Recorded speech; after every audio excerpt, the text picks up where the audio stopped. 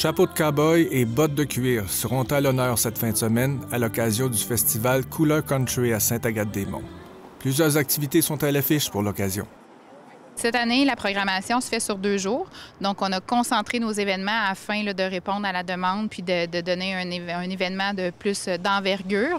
Donc, euh, on répète un peu euh, la même formule que l'année passée parce que l'année passée, on a connu un grand succès.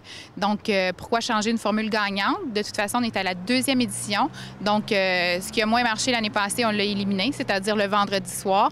Puis là, bien, en concentrant sur deux jours, bien, on a nos spectacles qui commencent à rouler le, matin à 11 h, le, samedi, jusqu'en fin de soirée. Puis le dimanche, bien, on poursuit avec notre messe euh, country qui a été l'événement marquant de l'année euh, de l'année passée. Donc on poursuit avec ça, puis avec l'omelette géante. Donc ça va nous faire une belle programmation là, sur deux jours.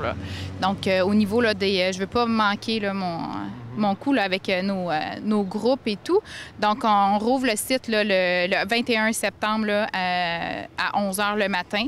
Donc, il va y avoir des kiosques alimentaires sur, place. Il va y avoir aussi le taureau mécanique qui est présenté par Belvedere Nissan. Donc, euh, ça risque de brasser un peu dans, dans ce coin-là. On va avoir de l'animation euh, avec les photos courts, donc euh, qui vont se promener un peu partout sur le site. Après ça, bien, on poursuit à 4 heures avec le Western Band. On a Downhold Brew qui vont jouer à 6 heures. Et après ça, on termine, on clôture notre samedi avec Sarah Dufour sur la grande scène, là, JL Brissette. Phare d'un impressionnant succès l'an dernier, la Messe Country demeure l'activité phare de cet événement. Quelques nouveautés viendront s'y greffer. J'ai rencontré l'abbé Steven euh, cette semaine.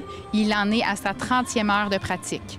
Donc, euh, ça promet comme messe parce qu'on euh, a nos danseurs qui vont être là, qui vont animer. Je crois qu'il y a sept chorégraphies au total qui, ont été pratiquées. Donc, tu sais, avec tout le, charisme que l'abbé Steven a, ça promet d'être tout un, tout un spectacle. Pas seulement une messe, mais tout un spectacle. Selon vos sondages, la musique country est assez populaire ici. Comment expliquer ça avec l'expérience que vous avez maintenant? Écoute, je pense que la musique country, ça, on l'a tout un peu en dedans de nous. C'est pas notre folklore, là, mais c'est pas loin. On se rejoint, c'est rassembleur, c'est. Euh, on part en vacances un peu avec du country. Là. Fait que ça fait juste, on a juste le goût de bouger, on a juste le goût d'être amis avec notre voisin à côté, puis de, de faire la fête.